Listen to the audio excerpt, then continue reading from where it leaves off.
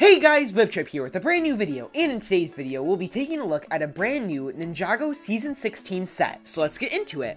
Alright, so here are the pictures of it. It looks to be kind of like someone stole this or something, I really don't know. But this gives us a very good look at the entire season in general. So let's start with the minifigures. Okay, so the first minifigure is the Skull Sorcerer. Now, I'm a little bit disappointed because compared to the original Skull Sorcerer, this is a very similar figure. But this is very irritating because they didn't fix the design of the mask that the Skull Sorcerer has, because in the TV show you can see that it has printing on the eyes and the mouth, but the minifigure doesn't. But also the wings are the exact same as the one from the original set, the Skull Dungeons, and I really wish that they would have been able to give us maybe translucent purple wings like they did give us translucent green wings for Lego Elves, but you can also see what's really interesting is that his weapon appears to be like a Scythe of Quakes, which is really interesting because you know, maybe the golden weapons are returning. That'd be kind of cool, but kind of redundant, seeing as we already got that for Legacy.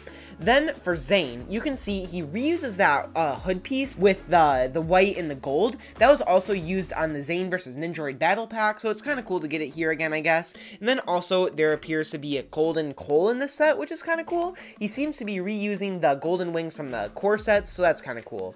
Now, for the rest of the build, you can see that this is looks very, very similar to Jay's Lightning Jet from Legacy. So I'm not really a big fan of that. It's probably just these boosters on the side, or maybe just these giant fins, but I'm not really a big fan of it. Now, what's also nice is that we do get to see the background of this box, of course, because it is a box, instead of a, like a set picture. So you can see these crystals on the side, just like in the opening of the new intro that was just leaked, but you can see the city behind this uh, this plane. And I really am glad that, you know, the season is taking place at the city.